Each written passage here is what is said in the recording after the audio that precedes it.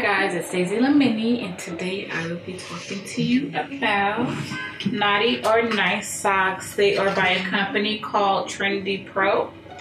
And this is the cute little box that it came in. Uh, it's cute like a little gift box. Let's see, it says, if my clothes could talk, this is what they would say.